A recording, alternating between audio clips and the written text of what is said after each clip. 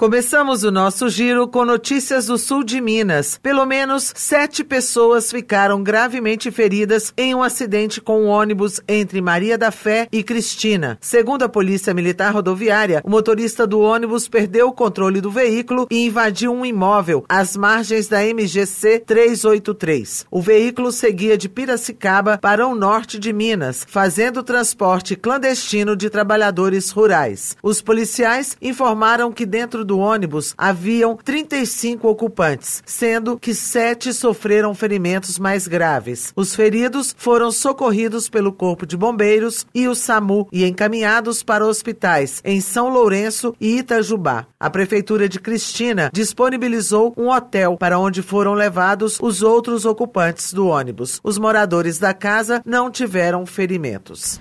Indo agora para o centro-oeste de Minas, um caminhão fugiu do local do acidente envolvendo outro caminhão e um veículo na MG 050 no perímetro urbano de Pimenta. Após parada em decorrência de obras, um dos motoristas não percebeu uma nova interrupção e colidiu na traseira de um caminhão, que por sua vez atingiu um carro de passeio. Um motorista ficou ferido e foi socorrido pelo SAMU, encaminhado para o pronto atendimento. A pista chegou a ficar parcialmente interditada. Também na MG 050, mas desta vez em São José dos Salgados, zona rural de Carmo do Cajuru, uma carreta carregada com 20 mil quilos de cebola pegou fogo. O motorista contou que o incêndio começou pela lona que estava na carroceria, porém não soube informar o que teria causado o fogo. De acordo com o Corpo de Bombeiros, quando os militares chegaram ao local, viram que a cabine e a carroceria já estavam tomadas tomadas pelas chamas, além da carga espalhada às margens da via. Com o incêndio, a carroceria rompeu e a carga de cebolas derramou nas margens da rodovia. Ninguém ficou ferido. Em Painhos, o processo de requisição para o licenciamento ambiental agora será feito pela Prefeitura Municipal. O objetivo é trazer mais agilidade, uma vez que o processo dependia de análise e autorização da Secretaria Estadual de Meio Ambiente. Para solicitar o documento, os interessados deverão ir à Secretaria de Meio Ambiente na rua Marinho Caetano Leal, número 400, no Parque Natural Municipal Dona Ziza. A medida é fruto de um convênio entre o município e a Secretaria de Estado de Meio Ambiente e Desenvolvimento Sustentável de Minas Gerais, a SEMAD que agora passará à competência do município a regularização e fiscalização de atividades e empreendimentos ambientais, como controle das atividades florestais relacionadas aos processos de intervenção ambiental, com supressão de vegetação nativa, vinculados ou não ao processo de licenciamento ambiental. Entretanto, as atividades do licenciamento executada pelo município são objetos de autoria pela SEMAD.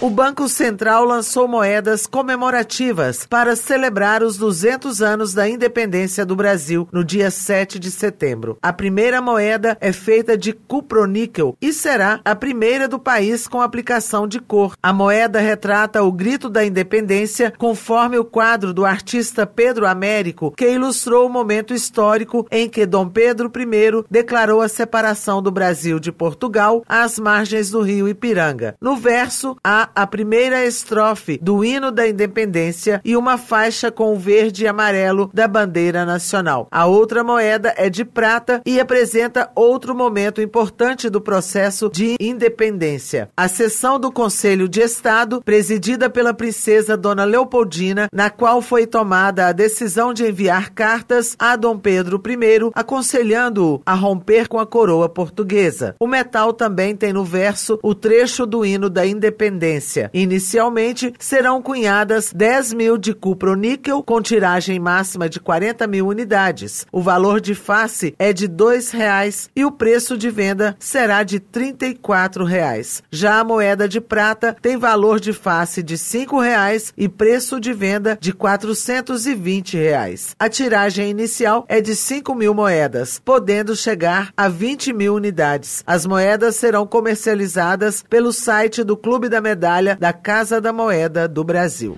Encerramos o nosso giro com notícia internacional.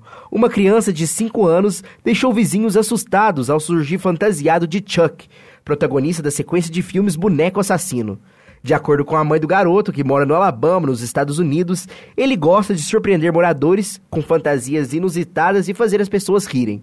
O pequeno fez tanto sucesso que participou até de entrevistas. A uma TV local, a mãe do garoto disse que estava no trabalho quando viu as fotos da criança. Sem saber do que se tratava, ela comentou que poderia ser seu filho. No entanto, quando ela se aproximou, ela teve certeza que era o garoto.